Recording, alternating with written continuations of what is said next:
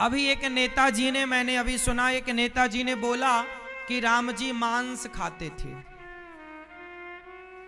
अब वो नेताजी को ये नहीं पता, देखो, शास्त्रों को ना पढ़ना पड़ता है, तब उसका अर्थ समझ में आता है। अब बिना पढ़े तो आप कुछ भी बोलिए। एक नेताजी बोले कि वाल्मीकि रामायण में तो लिखा है। अब उन्हें ये नहीं पता, नेताजी को, कि पढ़ना पड़ता है शास्त्रों को गुरु परंपरा से। संस्कृत पढ़ोगे ना, तब ना संस्कृत का अर्थ कर पाओगे। आपको जो भाषा आती ही नहीं है, उस भाषा का अर्थ आप क्या करेंगे?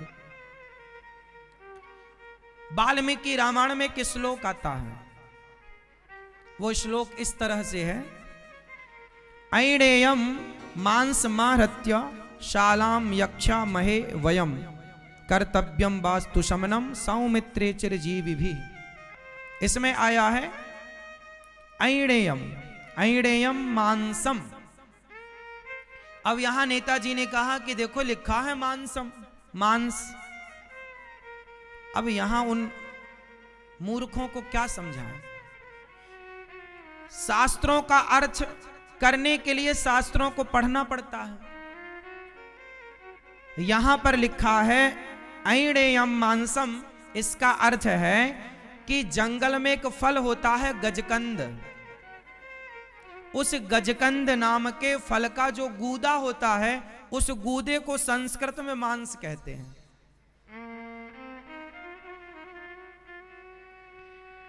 गजकंद नाम का जो कंद है, जैसे कंद मूल और फल होता है ना तो कंद अलग है, फल अलग है, फूल अलग है। फूल फूल भी हम खाते हैं, जैसे फूल गोभी। तो फूल गोभी का फूल खाया जाता है। जैसे पत्ता भी खाया जाता है, पालक का पत्ता, भतुए का पत्ता, ये सब पत्ते ऐसे ही एक होता है, कंद, जिस कंद का नाम है, गजकंद। उस गज का वो जंगल में मिलता राम जी चौदह साल वनवास में थे ना तो जंगल के कंदमूल फल खाते थे। तो जो गजकंद नाम का फल है, उसके गूदे को संस्कृत में मांस कहते हैं।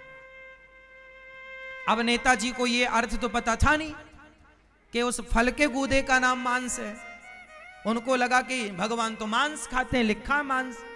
भैया, ऐसे समझ में नहीं आएगा। शास्त्रों को गुरु परंपरा से बैठकर पढ़ना पड़ता है। इसलिए गुरुकुल होते हैं। जो शास्त्रों का सही अर्थ समझाते हैं। अब एक नेताजी ने बोला कि रामचरितमानस में गोस्वामी जी ने गलत लिख दिया। ढोल, गवार शूद्र पशुनारी, सकल, ताड़ना के अधिकारी। अब उन मूर्ख को यह नहीं पता कि ताड़ना शब्द का अर्थ वहाँ मारने से नहीं है, देखने से है।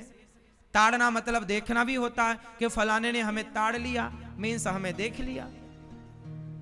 अब रामचरितमानस अवधि भाषा में है और अवध में आज भी ताड़ना मतलब देखना होता है।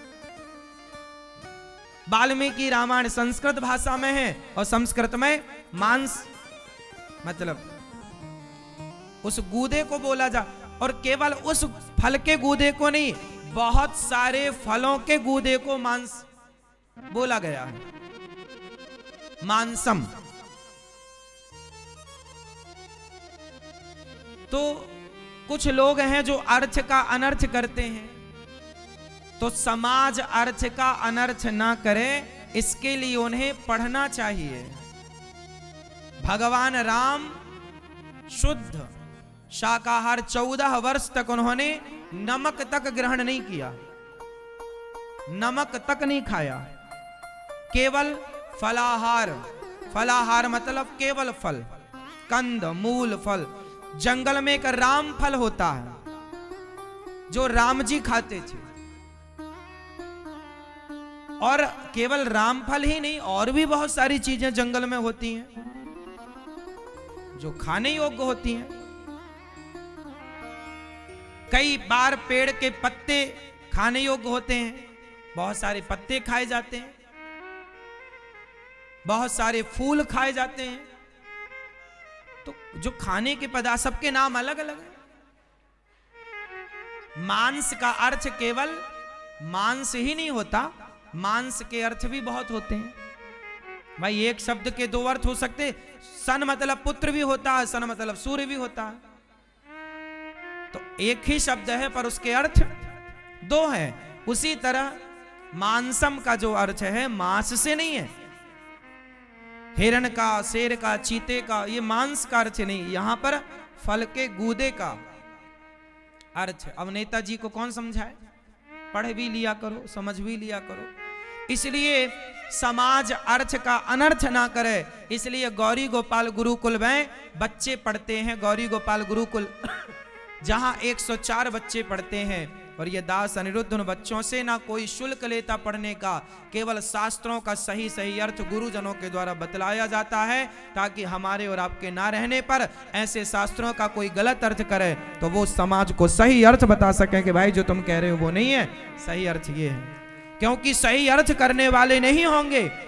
तो लोग शास्त्रों का भी गलत अर्थ करके और उन शास्त्रों के प्रति भी समाज में अश्रद्धा पैदा कर देंगे।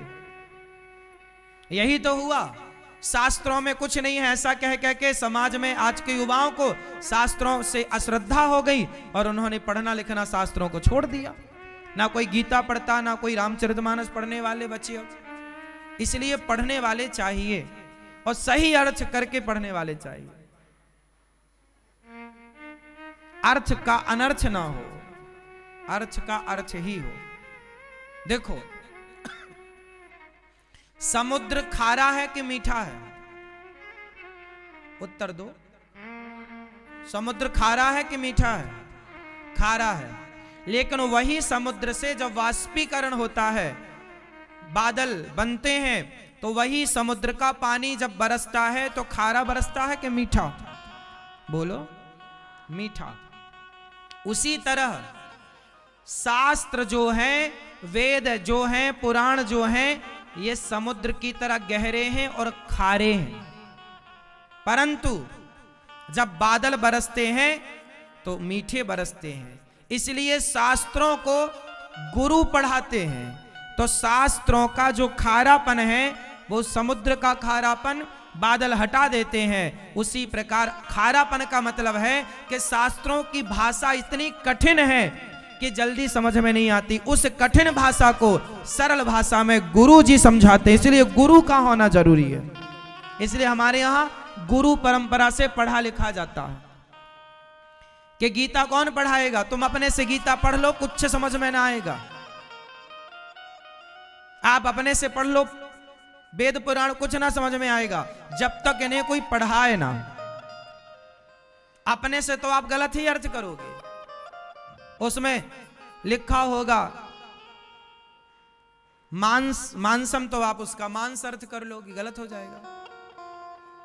अब ताड़ना लिखा है, और ताड़ना मतलब मारना भी होता है और देखना भी होता है। अब वहाँ ये युक्ति लगाना पड़ेगा कि यहाँ कौन सा अर्थ लगेगा?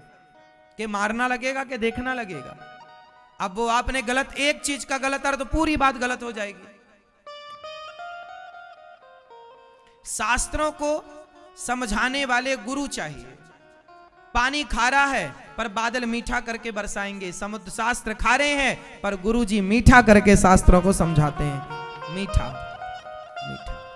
समझ में आ जाए। तो किस किस को ये मानसम वाली समस्या समाधान हो गया? लिखा हुआ है, वही हम बता रहे हैं, अपने से नहीं बता रहे मानसम का अर्थ, मांस से नहीं है। और जहाँ जहाँ मांस शब्द आया है, वहाँ मांसम मतलब मांस मतलब मांसाहार से नहीं, वहाँ फलों के गूदे से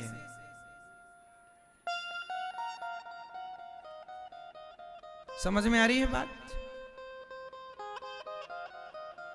अब जैसे बलि शास्त्रों में एक जगह आया बलि चढ़ाओ। तो लोगों को क्या लगा कि बलि का मतलब? शास्त्रों में आया बलिदान। बलिदान। तो बलिदान का अर्थ लोगों ने समझ लिया, बकरा चढ़ाओ ना। बलिदान का अर्थ बलिदान नहीं, बलि राजा बलि के जैसा दान बलिदान। बलिदान का मतलब क्या है? राजा बलि मतलब तीन पग भूमि में सब कुछ दे डाला। जो अपने आप को भी दे डाले, वो बलिदान है। बलि के जैसा दान, बलिदान। तो बलि जैसा सर्वस्व देने का नाम बलिदान है। ना कि किसी की गर्दन काटना। अब देखिए, अर्थ था बलि के जैसा दान, पर अर्थ लगा लिया बलिदान। बकरे काटने लग गए, लाखों बकरे कट चुके। एक शब्द का अर्थ गलत किया तो लाखों बकरे कट गए। ये वही लोग हैं जो अर्थ का अनर्थ कर डालते हैं। बलिदान मतलब राजा बलि के जैसा दान। बलि के जैसा बलि ने सर्वस्व दान कर दिया वामन भगवान को। बलि के जैसा दान बलिदान है। बलिदान का मतलब जान लेना नहीं है। हमारे देश के जवान अपना सर्वोच्च बलिदान देते हैं देश के लिए। तो बताओ बलिदान देते हैं कि लेते हैं? देते हैं तो बलिदान का मतलब हुआ, अपने आप को देश के लिए समर्पित कर देना। तो तुम माता जी को समर्पित अपना गर्दन क्यों नहीं काटते? बकरे की क्यों काट जब बलिदान कर तुमने करनी है तो अपनी काट लो। बकरे की क्यों? बलिदान का मतलब किसी की जान लेना नहीं, अपने आप को माँ के हवाले समर्पित कर देना। मैं आपको चढ़ा रहा हूँ, अपने आप ये बलिदान है। लेकिन अर्थ गलत। बकरे को काटने का नाम उनको लगा ये बलिदान है। जबकि बलिदान का सही अर्थ है, जैसे हम लोग नारियल तोड़ते हैं ना तो नारियल भी बलिदान है। नारियल में भी जी होता है, जान होती है। तो हम लोग किसी की हत्या ना करके नारियल तोड़ना। अच्छा नारियल किसकी सृष्टि है? आपको पता है ये बात? नारियल ब्रह्मा जी ने नहीं बनाया। नारियल किसने बनाया? एक बार विश्वामित्र जी गुस्सा हो गए। विश्वामित्र जी को जानते हो जो राम जी को धनुर्वेद की शिक्षाएँ दी हैं बहुत सारे? राम जी के गुरु तो वशिष्ठ जी हैं, पर विश्वामित्र जी भी हैं। विश्वामित्र जी वही हैं जो राम जी को ले गए और फिर सिया जी से विवाह इत्यादि कराने में विश्वामित्र जी थे। तो विश्वामित्र जी को एक बार गुस्सा आया बोले, मैं अलग से सृष्टि करूँगा। तो ब्रह्मा जी की सृष्टि अलग थी और विश्वामित्र जी इतने बड़े संत, इतने बड़े तपस्वी के अपने तप के प्रभाव से उन्होंने अलग सृष्टि करनी स्टार्ट की। तो उन्होंने सृष्टि की तो सृष्टि में माँ के पेट में क्या होता है? पानी। उस पानी में ही बच्चे का निर्माण होता है। तो नारियल में भी पानी होता है। और नारियल को ध्यान से देखेंगे, उसकी भी दो आँखें होती हैं। देखा? तो ये जो नारियल है ना, ये विश्वामित्र जी का बनाया हुआ प्राणी है। जीव वो बना रहे थे, लेकिन बाद में पर रोका गया अच्छा आप ना करो महाराज अलग से। नहीं, यहाँ वहाँ की तुम्हारी सृष्टि और इस सृष्टि के लोग लड़ेंगे। तब रोका गया, पर बना तो चुके थे, उन्होंने अपने तप के बल से एक जीव को पैदा कर दिया था और वो धीरे धीरे बड़ा हो रहा था। तब फिर रोक दिया तो फिर वो नारियल बन के रह गया। हमारे और आपके बाल होते हैं, ऐसे नारियल की भी जटाएँ होती हैं। बिल्कुल हु बहू वो सृष्टि होने जा रही थी। पर बाद में रोक दिया गया। इसलिए जहाँ बलिदान का अर्थ है, वहाँ बलिदान में क्या चढ़ाओ? बोले, विश्वामित्र जी की सृष्टि का बलिदान कर दो। मतलब नारियल तोड़ दो, ये हो गया बलिदान। इसलिए हमारे यहाँ कोई भी शुभ कार्य होता है, नारियल तोड़ा जाता है। कि किसी जीव की हत्या ना करके नारियल की बलि चढ़ा दी जाए, यही है बलिदान। कुछ लोग कद्दू काट जो पेठा कद्दू होता है ना, पेठे वाला कद्दू, उस कद्दू को काट कर भी बलिदान माना जाता है। पूजा में पंडित जी कद्दू काट के बलिदान कराते हैं। बलिदान का एक प्रोसेस होता है। बलिदान का मतलब बकरे को काटना नहीं ये सब। शास्त्रों के रहस्य ये देखो, शास्त्रों की बातें हैं। अब इतनी गहरी हैं कि आप लोग, इसका अर्थ अब जहाँ आपको मिल जाएगा कि बलिदान, अरे यहाँ तो लिखा बलिदान, चलो बकरा काटते हैं।